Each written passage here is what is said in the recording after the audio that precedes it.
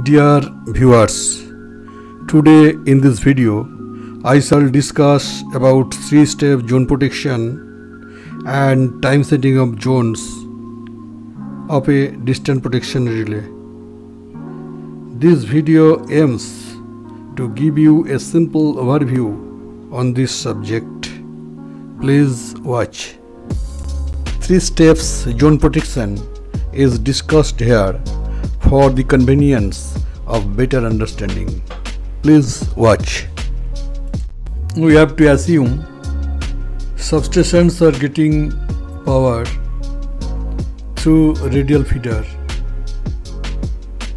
and protections are involved in forward direction.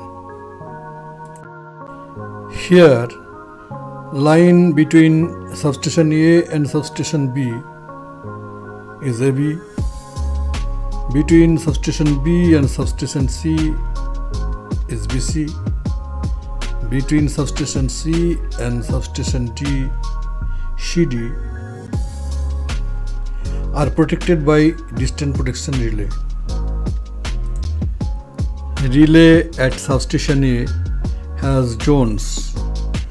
Zone 1 80% of line AB, Zone 2 150% that is 100% of AB plus 50% of BC. Zone 3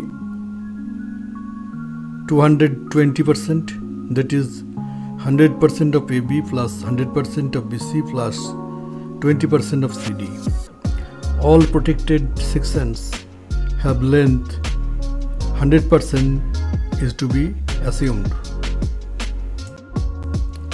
Relays at substation B and substation C have same zone setting for distance relays. Zone 1, Zone 2, Zone 3. Time setting of relays at all substations for Zone 1 protection is 0 second that is no time intention. Time setting for Zone 2 protection is 350 millisecond and time setting for Zone 3 protection is 700 millisecond. There are definite discrimination of time of operation among the zones of protection.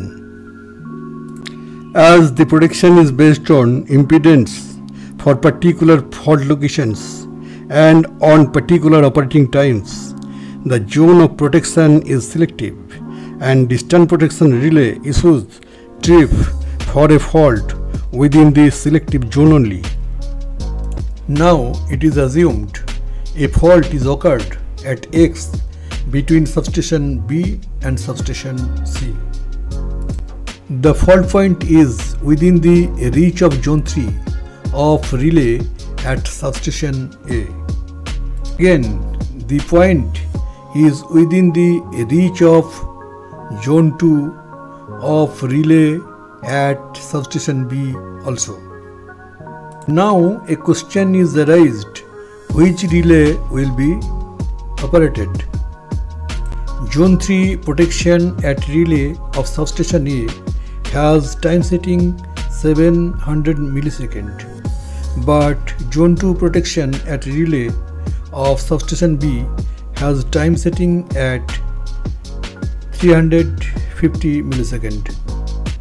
So it is clear that zone 2 relay at substation B will operate to trip its respective circuit breaker and line AB will remain healthy as zone 2 protection operates faster than zone 3 protection. In distance protection relay, particular zone of protection operates when fault will be within that particular zone and other remains inoperative as impedance and time of each zone are different. The relay characteristics depends on time and impedance which is a great advantage to select zones for protection by the relay. So my dear viewers, this was the discussion about the subject. Thank you for watching this video till the end.